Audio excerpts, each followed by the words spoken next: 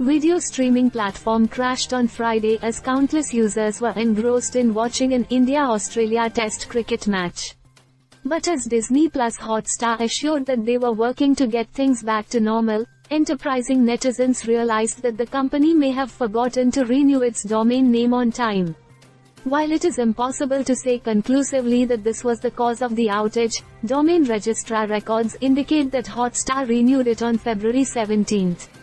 Many on social media platforms shared screen grabs of the domain data to imply that Disney had briefly lost ownership of Hotstar.com.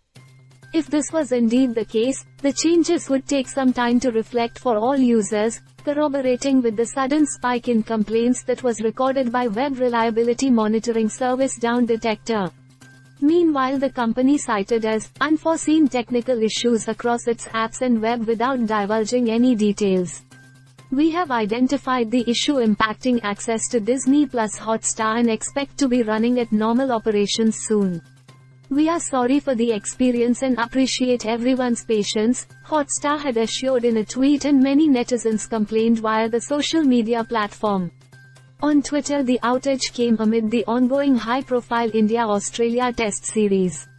While Hotstar is among the country's most popular streaming service, it has recently lost the streaming rights to the upcoming IPL tournament. Reports citing analysts suggest that the blow could even topple its customer base in India.